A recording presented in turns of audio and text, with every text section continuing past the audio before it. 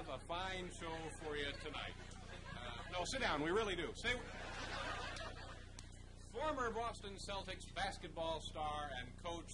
Now uh, you've seen him in the beer commercials. Mr. Tom Heinsohn is here tonight.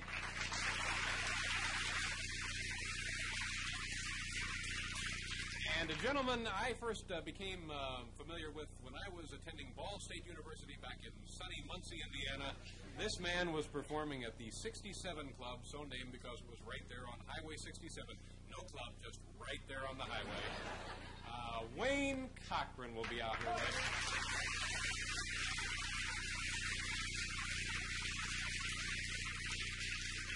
Also, tonight we begin a fascinating uh, three part series, I believe this is tonight. A look at men and their inventions. That'll be taking place on this show tonight and tomorrow night and the following night. Now, last night I mentioned that Lily Tomlin was going to be here tonight. Uh, but when she heard we were doing the Happy Clowns, she said, I'd rather stay home and watch it in the comfort of my living room. So she will be with us tomorrow night. Say hello now to Mr. Paul Shaffer, ladies and gentlemen. Just finish it.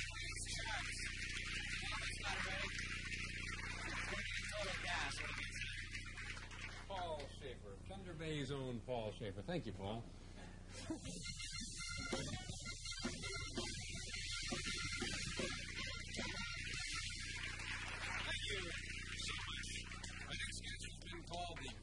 Father of Blues. In the 1950s, he looked nothing like the other popular white performers. And instead of sounding like Pat Boone, he sounded more like Otis Redding and Little Richard. His style has since influenced musicians ranging from the Blues Brothers to Rod Stewart. It's a pleasure to welcome, performing on a rare occasion here tonight, the legendary Wayne Cochran.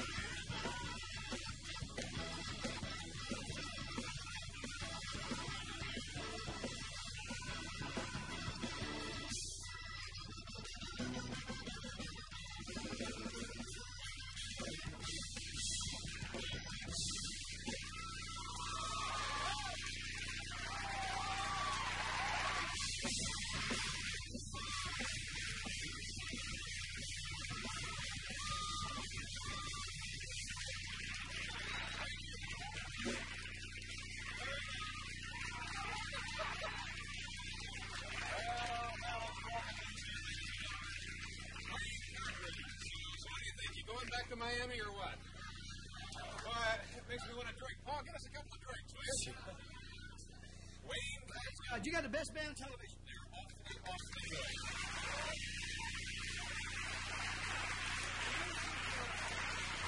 Paul uh, I mentioned the very beginning of the show, I heard about you, uh, well, not a long time ago. This is in the late 60s. You were working a place called the 67 Wink Wink Supper Club. and uh,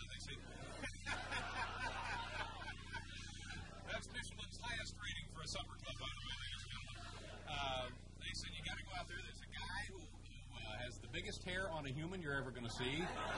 And occasionally he'll toss something through the window. He used to toss chairs through the place, huh? In fact, the first time I ever did Yep. Yep, yep. And this I love westerns, you know. And every western is a good bar fight, saloon fight, where a chair always through the window. Well, that's, that's one thing Muncie needs more of. Yeah, Bar Randolph fights. Scott. Hardly ever happens in Muncie. Uh, you're a, a, a bona fide music legend. Uh, you've influenced, uh, we uh, listed people from the, the Blues Brothers to uh, um, Rod Stewart and on and on and on. And there are hints of your music and what you've done uh, in other performers today. Does, does it bother you that you're still, uh, not that you're not famous, but you're not a, you're not a superstar really in the world of music? Oh, but I'm the first time in my life, uh, I, I'm the kind of star I want to be. I've given into a star, become the subject of one. And, and what Ask me how happy I am. I thought you never answered. Can I answer that, Paul? I won't answer that. How happy would you be? How happy would you be if you know the whole reason for creation and every moment of history was to prepare, give birth to, and prepare a bride for the Son of God to help him rule and reign forever? And everything and every second lived until this moment was in preparation of that. And you was bride instead of just part of creation. Would you be happy?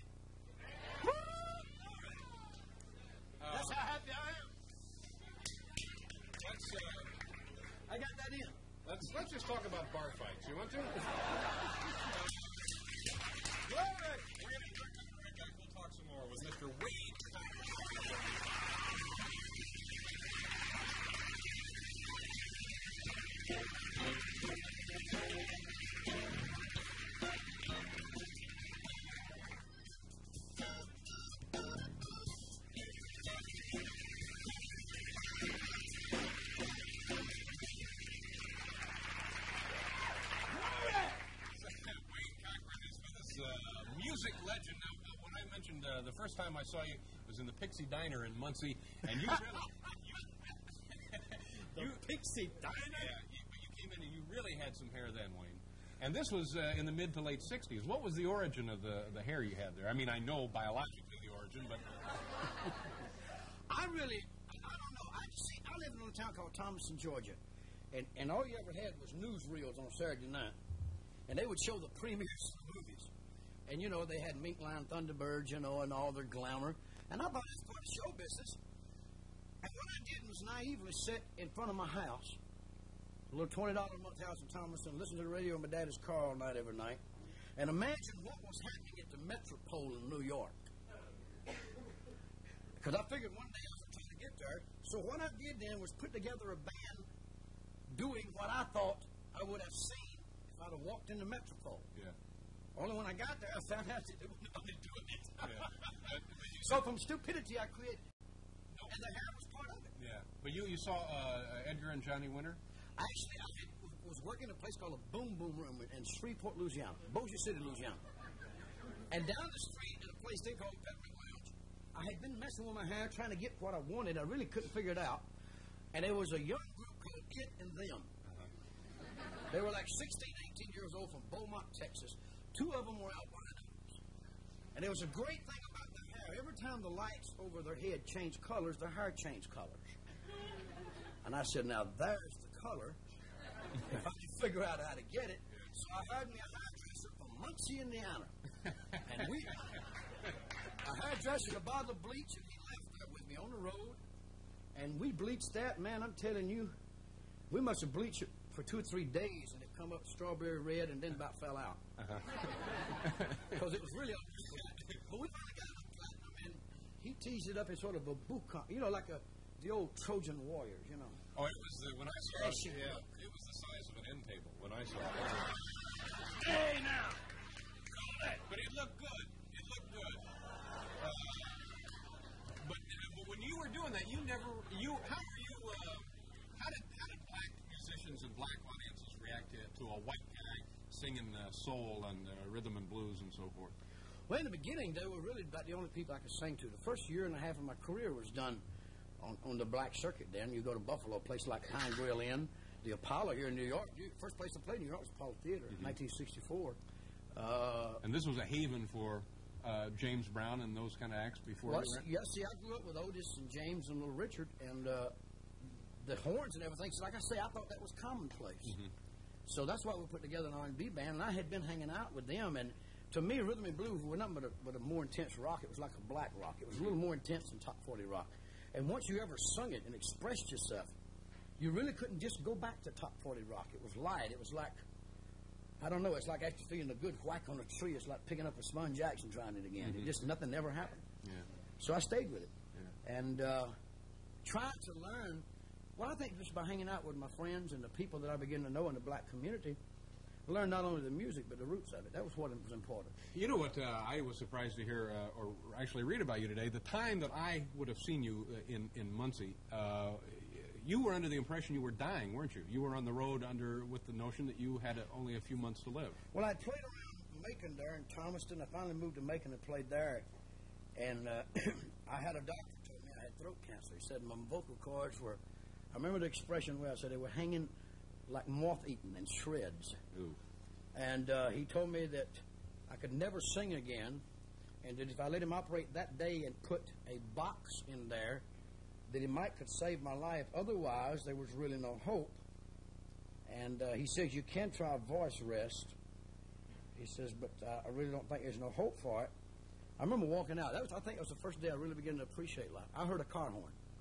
that don't sound like much, but when you all of a sudden you think of how many dead men would give the riches of the world to hear that car horn, and it began to count more. And I had always wanted to be a road musician. In the old days, you know, that was all it was to it. You just didn't get the band and records. You hit the road. So I took my band and left because I figured I had, you know, 90 days to live, and I was gonna, I was gonna do what I always wanted to do. And I figured when I got too weak, you know, I'd just come home. Did you? Uh, Nothing ever happened. Did you feel like, the, if in fact there was a disease, that it ever progressed, or? Uh, No, in fact, I, uh, it started getting better. And I tell you, the strange feeling is waking up on the 91st day. Really? You really believe it. Uh, that's uh, truly amazing. Um, uh, well, uh, we had This is a weird show, man.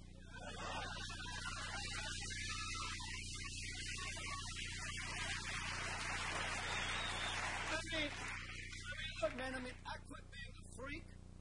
I'm born again. I'm a minister of the gospel. And I'm on the Dave Letterman show. Praise God. I love it. I love it. Say glory. we had uh, uh, a contemporary. Ain't life good? Go ahead. I'm sorry. We had a contemporary of yours on a couple of weeks ago, Little Richard. Praise God. And you guys have nearly the same kind of musical origin, and Yeah. you've both come around. Now he's out uh, making money, not making money. I'm sorry. He, he's out preaching the gospel.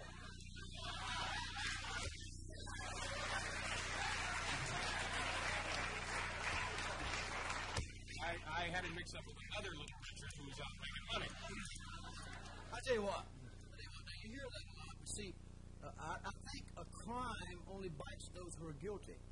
And uh, I'll tell you this: the, the most drastic step I ever made in my life was last May. The Lord called me into a full-time ministry, and at that time I was used to having a job or getting a weekly paycheck. And when you have a lot of bills, and you realize that if this Monday morning you're not looking for a job and you don't have one, and you really don't know how you pay your bills, you just have to depend on it, and your wife knows it.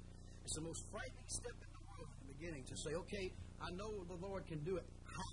How? And how? Because it's not a joyous trip in the beginning, but it works. We're gonna we're gonna pause. We'll be right back.